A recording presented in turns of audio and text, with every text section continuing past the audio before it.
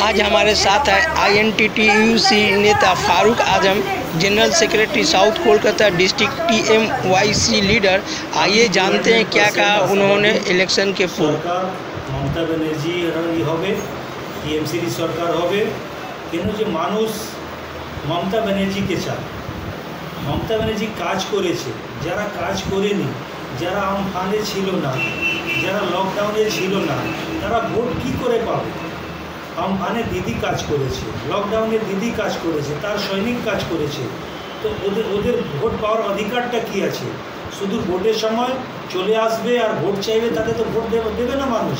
মানুষ বুঝে যে হ্যাঁ কাকে ভোট দিলে বাংলা বাংলার কল্যাণ হবে। মানুষের কাকে ভোট দিলে মানুষের ভালো হবে? সেই জন্যে বাংলার লোক মমতা ব্যানার্জিকেই চায় দাদা প্রধানমন্ত্রী বলছেন যে আমফান থেকে করোনার সময় কেন্দ্রীয় কোনো সাহায্য আপনারা ঢুকতে দেননি রাজ্যের মুখ্যমন্ত্রী ঢুকতে দেওয়া হয়নি। এবার সেখানে আমরা কাজ করব কি? আমরা কাজ করার কোনো সুযোগই দেয়নি। কি বলবেন দাদা?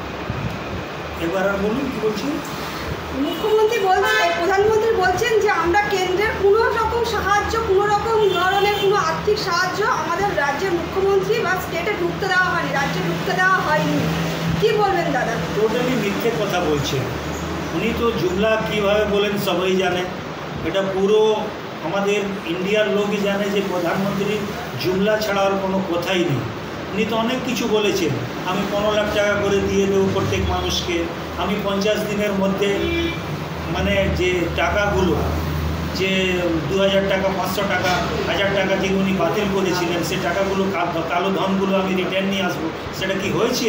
জিএসটি থেকে লাভ হবে সেটা কি হয়েছে? আজকে যা অবস্থা প্রধানমন্ত্রী মিথ্যা কথা ছাড়া আর কোনোই ভালো কথা বলেন না। মানুষের জন্য কিছু করেন দাদা দেখা যাচ্ছে আপনার আমফান থেকে লকডাউন হ্যাঁ। একদিনও প্রধানমন্ত্রীকে আসতে দেখা যায়নি পশ্চিমবঙ্গে। কিন্তু এমন কি হলো যেখানে একজন মহিলা মুখ্যমন্ত্রীকে আটকানোর জন্য স্বয়ং প্রধানমন্ত্রী এবং স্বরাষ্ট্রমন্ত্রীকে দিল্লি থেকে উড়ে আসতে হচ্ছে বারবার দেখুন, পুরো ইন্ডিয়াতে একটাই রাজ্যতে এখন মহিলা মুখ্যমন্ত্রী আছে তার, যার নাম হলো মমতা ব্যানার্জি। আর মমতা ব্যানার্জি এমন নেত্রী যে সব সময় মানুষের পাশে থাকেন এবং মানুষের জন্য উনি লড়াই করেন। আজকে প্রধানমন্ত্রী দেখুন আজকে এসে পঞ্চাশটা সভা করছেন উনি ওয়েস্ট বেঙ্গলে প্রধানমন্ত্রী আজকে কি করেছেন বলুন তো দেশের জন্যে? কি আমাদের ওয়েস্ট বেঙ্গলের জন্যে? ওয়েস্ট বেঙ্গলের জন্য কি টাকা দিলেন উনি? কোনো টাকা এক্সট্রা দেননি। এমনকি আমাদের যে পাওনার টাকা ওয়েস্ট বেঙ্গলের সেটাও উনি পাওনার টাকাটা দেননি প্রধানমন্ত্রী। কি বলেন উনি? কি আজকে যা উনি বলেছেন, সে কোনো কথাতে উনি আজকে বলেছেন আমি রোজগার দেব। নবযুবক ছেলেদের রোজগার দেব। উনি বলেছিলেন, প্রস্তুতি দিয়েছিলেন যে প্রত্যেক বছর দু কোটি ছেলেদের আমি রোজগার দেব। সাত বছর আজকে হতে চলেছে।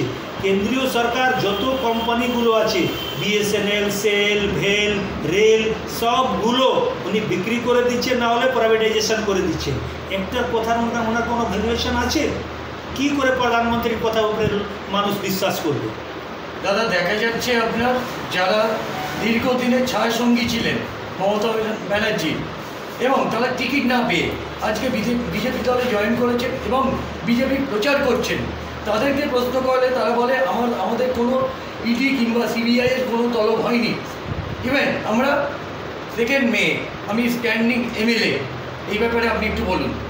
দেখুন, মুকুল রায় আমাদের অনেক আগে গেছেন। দু হাজার ষোলোর আগে মুকুল রায় যখন গেলেন মানে ভাগ মুকুল ভাগ একটা বিজেপি কথা ছ- বলছিল স্লোগান দিয়েছিল, ভাগ মুকুল ভাগ। মুকুল রায় যখন গেলেন বিজেপিতে, তারপরে আজকে অবধি ওনার কোনো সময় এ হচ্ছে, হয়েছে? ইডি বা সিবিআই কোনো কিছু হচ্ছে? কিছুই হচ্ছে না। সেই রকম যারা টিএমসি ছেড়ে গেছে, তাদের ভিতরের ভিতরে হুমকি দিয়ে সিবিআইয়ের ভয় দিয়ে, ভয় দেখিয়ে ওদের টিএমসি ছাড়ানো হয়েছে। এবং তারা ভয় পেয়ে গেছে। যারা ভয় পায়নি, তারা টিএমসিতে আছে। যারা ভয় পেয়ে গেছে, তারা কি চলে গেছে বিজেপিতে? ওরা মুখে হয়তো বলছে না, কিন্তু ভিতরে ইডির ভয় আছে, সিবিআইয়ের ভয় আছে, অমিত শাহের ভয় আছে, যিনি নানান লোকের মাধ্যমে ভয় দেখিয়ে ওদের আজকে টিএমসি থেকে বিজেপিতে নিয়ে গেছেন। আজকে মানুষ জানে, বাংলার মানুষ, যাদের নামে কাটমানির কথা হয়েছিল, তারাই তো আজকে টিএমসি ছেড়ে বিজেপিতে গেছে। তারাই তো কাটমানি, শুভেন্দু বলুন কি রাজীব বন্দ্যোপাধ্যায় বলুন, তাদেরই নামে তো কাটমানির কথা ছিল।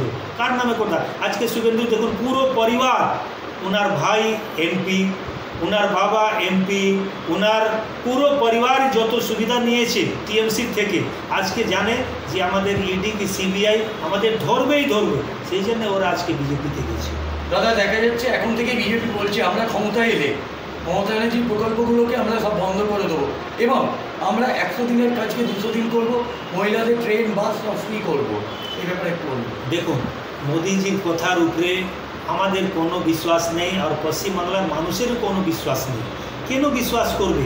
আমি তো আগেও আপনাকে বলেছি যে মোদিজি যা যা বলেন সেটা করেন না।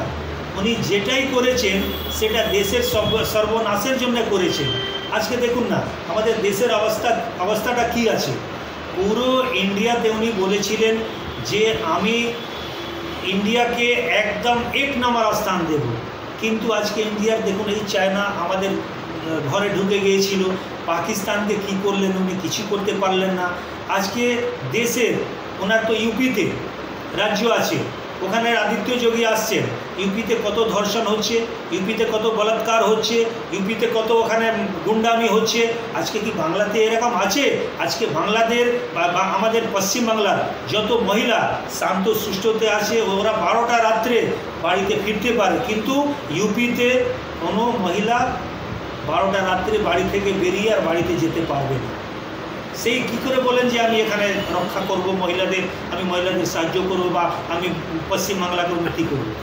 দাদা বলছি যে অভিষেক বন্দ্যোপাধ্যায়ের নামে যে কয়লা চোর ইয়ে বিভিন্ন রকমের যে ইয়ের ইন, দাগ যে লাগানো হচ্ছে আপনারা কি মনে করেন যে এই যে সিবিআই বা ইডি লাগিয়ে আপনাদের দলের কোনো রকম এই যে আহ, বদনাম দিয়ে প্রভাব ফেলবে নির্বাচনের দিক অভিষেক বন্দ্যোপাধ্যায়ের উপরে বা টিএমসি যে কোনো নেতার উপরে যদি কোনো কথা উঠে, এটা ইলেকশনের সময়ই কেন? ইলেকশনের